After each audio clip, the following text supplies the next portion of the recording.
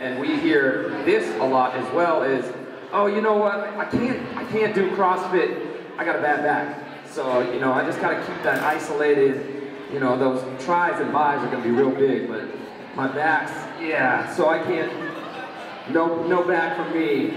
Um, it's very interesting when I hear people say that, and, I, and I'm very intrigued to hear what Wayne has to say to it.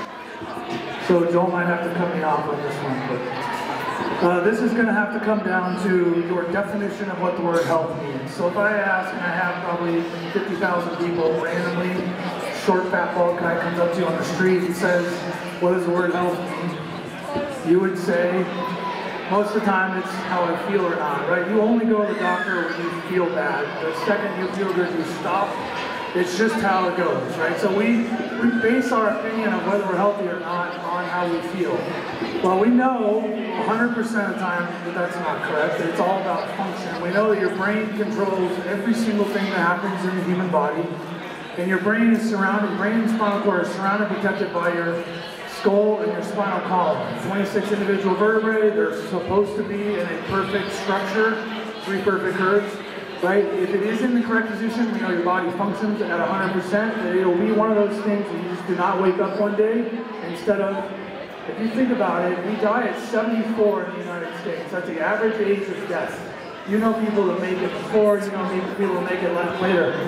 What is it you're going to do to not end up dying early? What are you going to do to not end up in a nursing home, on hospice, in adult daycare, under living your life? Sorry, it all starts now. You have to change the way you are taking care of yourself now, and this has to do with your back, most importantly, right? I mean, your spinal column has got to be free of interference so your body can function like it's supposed to.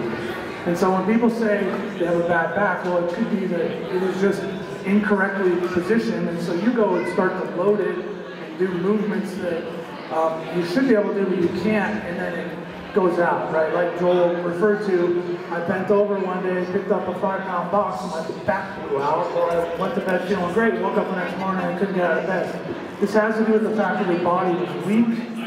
You were compens- it was compensating for you for a long period of time, even though you were putting it through load, and all of a sudden it goes out on you. And we have got to make sure that the structure of your body, that's why these guys teach you how to move correctly, you don't do squats with load with your back folded. You're gonna blow your back out. And that's how it goes. So you got they teach you how to move correctly, and their utmost important focus is your structure is where it's supposed to be.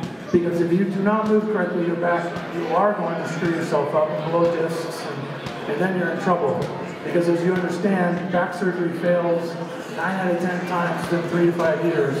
That's the last thing you want to happen to you. Right? So please, if if I could implore you to do anything, and if you've never worked out a day in your life, you've got to get moving and start taking your body seriously so that you can get to a point where you're functioning and feeling great, you're full of energy.